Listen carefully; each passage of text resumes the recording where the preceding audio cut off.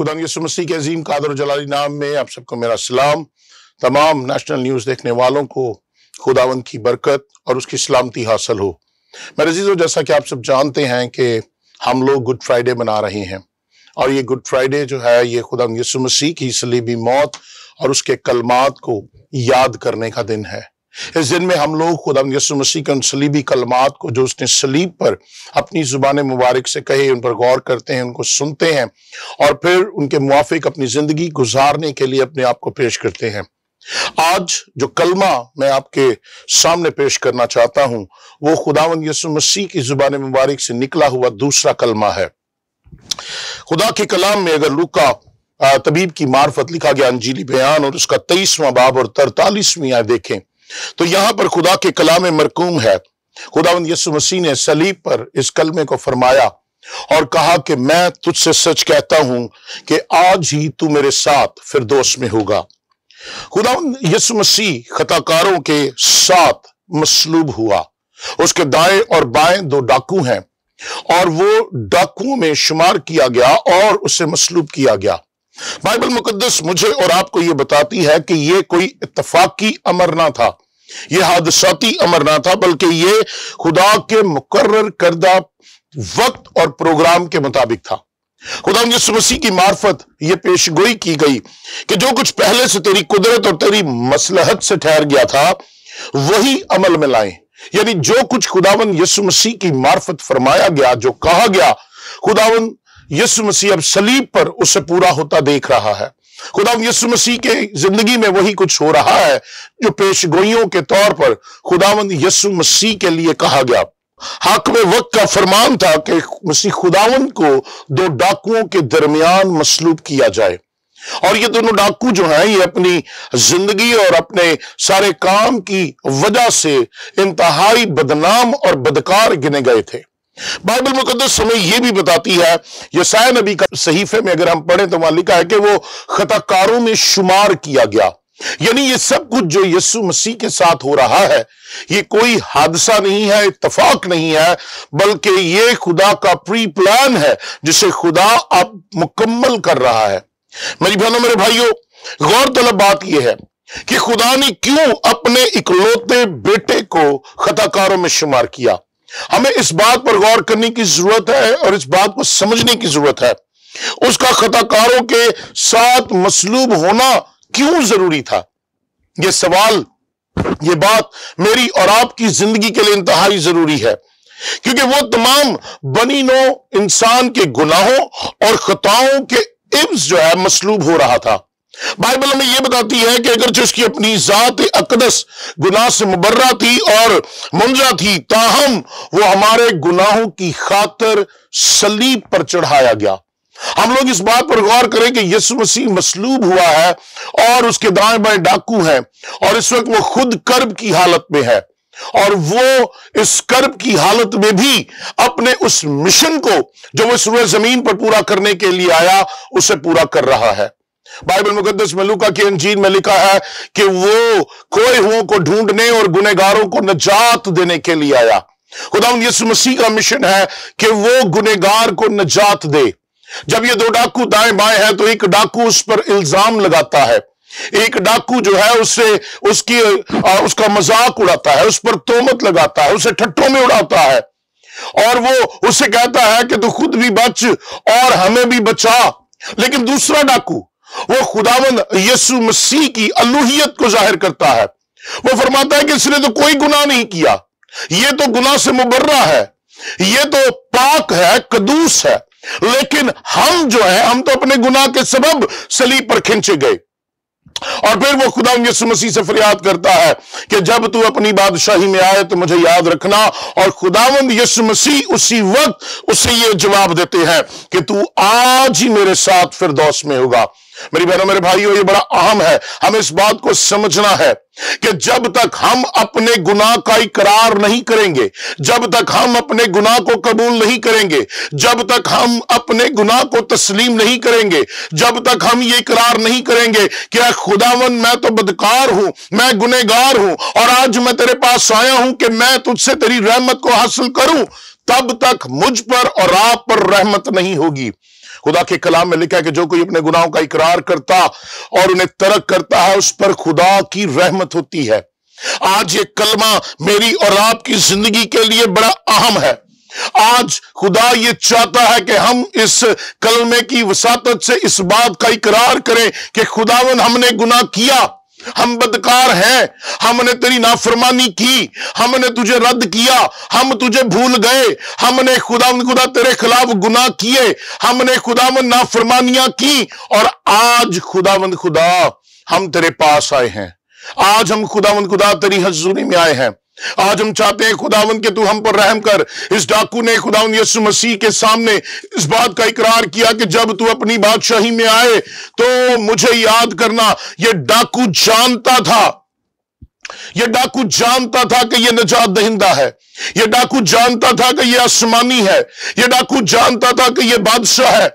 यह डाकू जानता था कि यह खताएँ माफ़ करने वाला है। यह डाकू जानता था कि यह गुनाहों को मिटाने वाला है। यह डाकू जानता था कि यह आसमान से आया है और यही है जो मैं खुदा की बादशाही में दाखिल कर सकता है। और इसलिए उसने कहा कि जब तू अपनी बादशाही में आए तो मुझे याद करना और खुदावंद यसु मसीह ने उससे कहा कि तू आज ही मेरे साथ फिरदौस में होगा। गौर करने की बात यह है यह नुमाइंदा खताकार को पेश करता है। यह खताकारों के नुमाइंदे की हैसियत से यस्सु से बात कर रहा है और ये खुदामंद यस्सु मसीह के सामने अपनी हालत का बयान कर रहा है। अपनी हालत को, जो उसकी बदकार हालत है, नजासत की हालत है, ये उसको बयान कर रहा है कि हम तो अपने गुनाहों के सबब से लटकाए गए, लेकिन ये तो बेगुनाह है।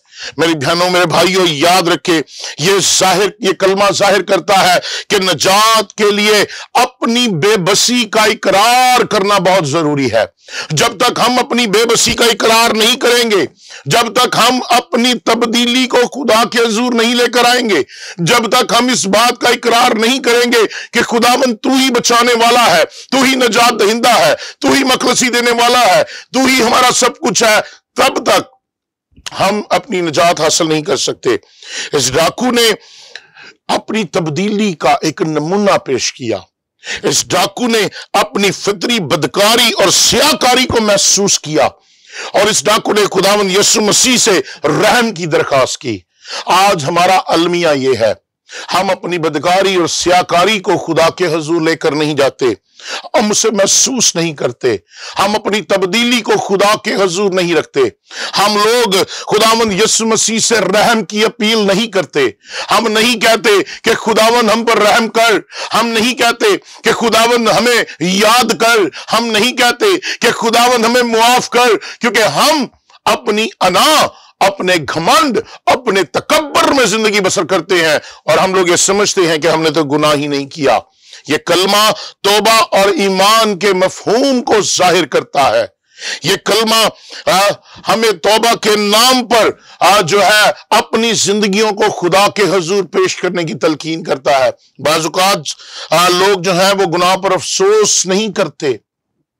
वो अपने गुनाहों पर जो है, शर्मिंदा नहीं होते। वो अपने गुनाहों के सबब से खुदा के हजूर आजिज और इनकिसार नहीं होते।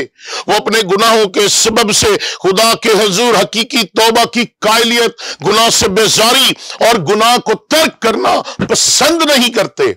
लेकिन यहाँ पर ये डाकू खुदा के हजूर अपनी कायलियत को पेश कर रहा है।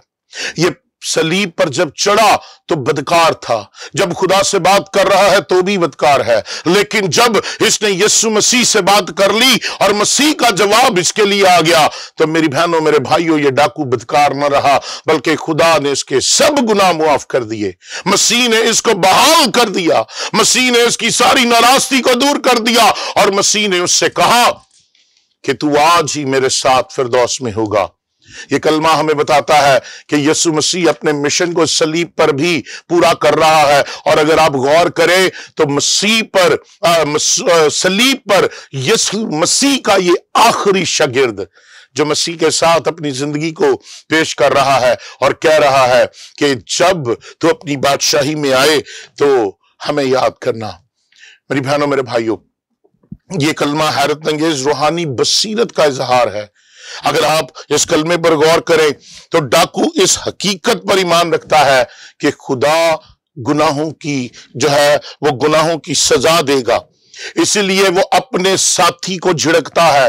वो जो यस्सु पर तोमत लगा रहा है, वो जो यस्सु को डांट रहा है और कहता है कि क्या तू खुदा से नहीं डरता? क्या तू नहीं जानता कि इस ये तो मासूम और बेगुनाह है और तू इसे ठट्टों में उड़ा रहा है? खुदा मुंसिफ है, उससे डर, क्योंकि वही है जो गुनेगार को सजा देता है। दूसरी बात, डाकू के दिल में ऐसा से गुनाह है, मौजूद है। और वो कहता है, हमारी सजा तो वाजबी है, क्योंकि जो कुछ हमने किया, अपने कामों का बदला पा रहे हैं। लेकिन ये जो सलीब पर लटका है इसने तो कोई गुनाह नहीं किया।